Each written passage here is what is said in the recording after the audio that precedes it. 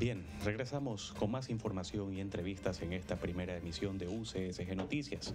Nuestro segundo invitado del día de hoy en el bloque de entrevistas es el mayor Alfonso Andrade, jefe comisionado del Museo del Bombero Ecuatoriano, jefe Félix Luque Plata. Mayor Andrade, bienvenido a UCSG Noticias. Pavel Lisovsky le saluda.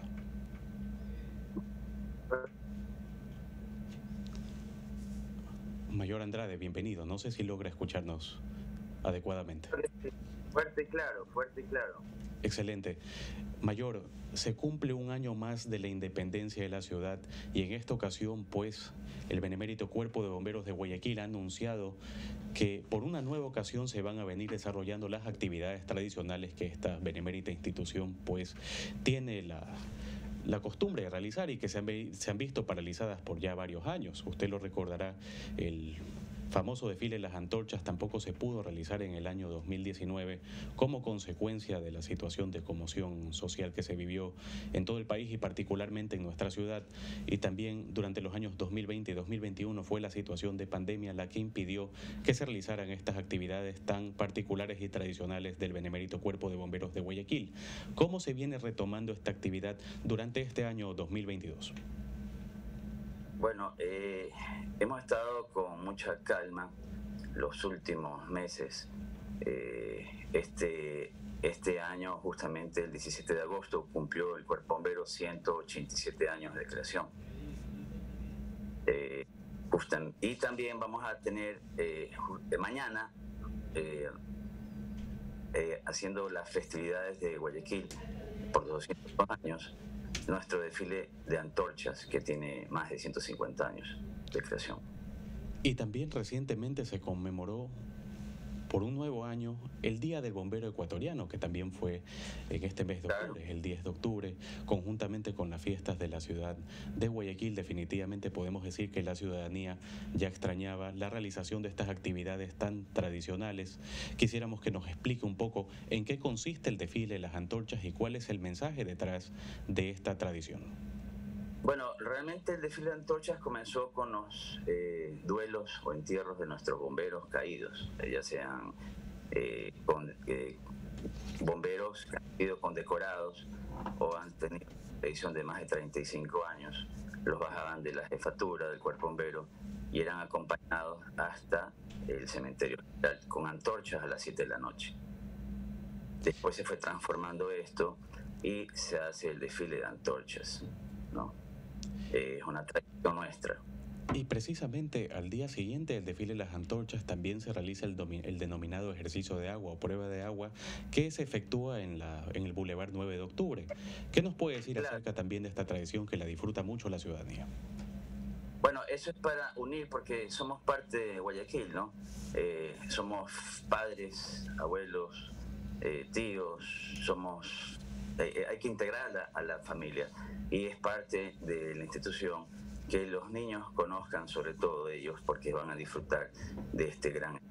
Antiguamente era para eh, que los bomberos buscan sus eh, formas de, trabajar el pitón en los incendios. Eso mañana será para la familia. Eh, esta maravillosa actividad que la hacemos, bueno, la hacíamos cada año, la estamos retomando como usted dijo hace breve. ¿Cuáles han sido algunos de los desafíos, más allá quizás de la paralización de las actividades tradicionales de esta benemérita institución, que se han dado como consecuencia de la pandemia? ¿Cuáles son algunos de los desafíos actuales que se viven en el periodo de reactivación que están teniendo todas las instituciones y particularmente una institución que es tan importante en cuanto a la respuesta a emergencias? Bueno, eh, en respecto al museo, que es lo que yo manejo, a explicar. Tuvimos esa paralización cuando comenzó esta pandemia, dos meses parados, pero trabajando puertas adentro, preparando un formato virtual, ¿no verdad? Con este, algunos eh, museos amigos, le decimos así, porque se armó con el MAC eh, una plataforma Facebook donde distintos museos del país exponían piezas de acuerdo al, al, al abecedario entonces le tocaba al Cuerpo Bombero de Cuenca, al de Quito, Guayaquil con nosotros, o Guayaquil con Ain Díaz. Había conversatorios virtuales con colegas, aparte eh, el vacacional de los niños, que eso es algo muy importante, que eh, también lo hacíamos y lo hemos estado haciendo constantemente. Este vacacional comenzó de forma virtual, ¿no? con Bomberos Junior, que ahí se les da clases eh, a los chicos de prevención de incendio, qué hacer y qué no hacer en caso de incendio. el uso de extintores, hacíamos también los huertos familiares porque dentro del cuerpo bombero tenemos la división forestal, entonces teníamos invitados ahí de parte de nuestra gente eh, de los bomberos forestales, enseñándoles cómo cultivar lechugas, eh, tomate, ¿no? Eh, también teníamos las clases de extintores. es súper interesante. tuvimos también algo muy increíble que era el tour virtual 360, que todavía está abierto. eso lo pueden buscar, está anclado en la página del web del Cuerpo Bombero, eh, en la pestaña Museo. Se ingresan y pueden ver todo el, museo nuestro. Eso ayudó bastante gente. También tuvimos, eh, tenemos un capitán que vive en Boston y él nos ayudó con bastantes tours virtuales con los niños de Estados Unidos, de algunos condados de Estados Unidos. Ahora, con eh, respecto, con respecto concretamente a la situación del museo y antes de pasar a otro tema, el Museo del Bombero Ecuatoriano Jefe Félix Luque Plata sabemos que es uno de los museos de bomberos más completos de toda la, región. Y siempre ha existido quizás un interés por parte de la ciudadanía de visitar este museo que sea de paso digno de mencionar, funciona en una de las instituciones, en una de las instalaciones físicas emblemáticas de la ciudad que fue en su momento la planta proveedora de agua. ¿Cuál es el origen y cuál es el interés actual de la ciudadanía en visitar el Museo del Bombero en Guayaquil? Bueno, nuestro museo tiene 40 años de creación. Antes estaba eh, en la compañía Salamandra, que queda frente a la iglesia San Francisco. De ahí pasó a la planta proveedora de agua. La planta proveedora de agua se llama así porque eh, está creada eh, desde el año 1905, ya que Guayaquil tuvo muchos incendios desde sus inicios, pero desde 1835, que somos institución firmada el decreto por el presidente este, en esa época, que era Vicente Rocafuerte, él cogió, creó la institución en 1835 y, y hubieron varios incendios. Eh, 1896, 1902, y eh, se le convoca en ese entonces, que era presidente el general Eloy Alfaro, y se inaugura en 1905, en 1905 la planta prueba de agua. Está aprovechando eh, estos señores que estaban creando el tren, ¿no verdad? Ellos forman esta eh, estructura que había en parte de Europa y Estados Unidos, esa modernidad se podría decir, porque antiguamente Guayaquil tenía pozos de agua, pozos de agua que abastecían a los carros guimbalete de la época eh, para sacar el agua de los pozos. Pero la modernidad llegó a Ecuador, o sea, Guayaquil, como le decía hace un momento, y pudimos trabajar eh, en 1905 a partir de eso con 447 hidrantes que estaban repartidos en todo el centro de Guayaquil. Eh, subía eh, esto venía porque lo que pasa es que yo sé que tengo poco tiempo, me quiero expandir y no puedo.